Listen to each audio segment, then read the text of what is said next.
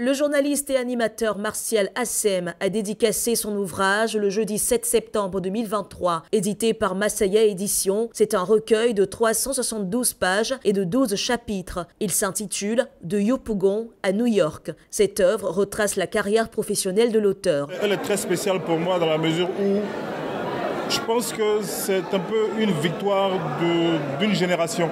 Une génération dont on disait, lorsqu'il y a eu euh, l'ouverture de l'espace audiovisuel en 1998, les radios de proximité, on nous considérait comme des gens qui n'avaient aucune expérience, qui ne savaient rien, qui ne savaient pas ce qu'ils racontaient et tout.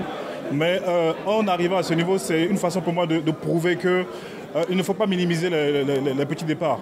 Et aussi une façon de dire aussi à, mes, à mes co-religionnaires qu'il faut vous prendre au sérieux, il faut travailler. C'est une fierté pour la presse ivoirienne. Martial est un exemple euh, de réussite euh, qui, j'espère, portera donc son livre portera donc euh, ses fruits en amenant d'autres journalistes à écrire également sur les différents parcours. Cette cérémonie de présentation de l'ouvrage a été l'occasion de partager des expériences, mais aussi d'exhorter la jeunesse à la lecture. Si on n'est pas cultivé, c'est difficile de partager euh, de la connaissance avec euh, le public. Donc vraiment, j'exhorte toute cette jeunesse à lire.